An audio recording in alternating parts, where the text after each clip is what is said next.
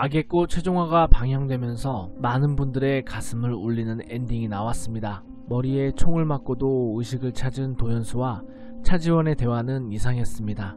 도현수요. 네? 우리가 예상하지 못한 결말로 향하고 있던 악의 꽃 최종화입니다. 지금까지 있었던 일들이 주마등처럼 스쳐 지나가고 기억의 조각들이 사라지게 되어버린 도연수 그리고 기억 속 한 조각인 차지원과의 추억마저 가위로 오려내 버려졌죠. 어떻게 그렇게 나만 가위로 우려내듯이 잊을 수 있어? 15화까지 이장살인 사건과 연쇄살인의 범인은 누구일지에 대해 집중했었는데 백희성의 등장으로 소름 끼쳤던 장면들도 많았고 앞서 방영된 내용들을 돌려보게 만들었습니다.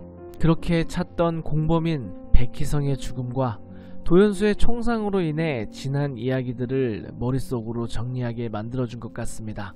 어쩌면 도연수가 말했던 기억의 시작이었고 저기로 넘어가면 절벽이거든. 그게 내 최초의 기억이야. 이제는 기억의 끝이 될 수도 있는 낭떠러지였으니까요. 다행히 죽음을 맞이하지 않은 도연수가 차 사고 전과 지금이 연결된다고 한 것으로 교통사고 때문에 입원해 있는 줄 알았어요. 2005년인 줄 알았어요. 백희성이라는 존재를 완전히 지워버리게 된 걸로 생각할 수 있는데요. 방금 또 형사님이 절 희성 씨라고 했어요. 이제 백희성이 아닌 도연수로 차지원과의 사랑 이야기를 보여주기 위해서겠죠. 조금 아쉬운 부분이 있다면 백희성과 도민석이 왜 살인을 저질렀는지에 대한 것이죠.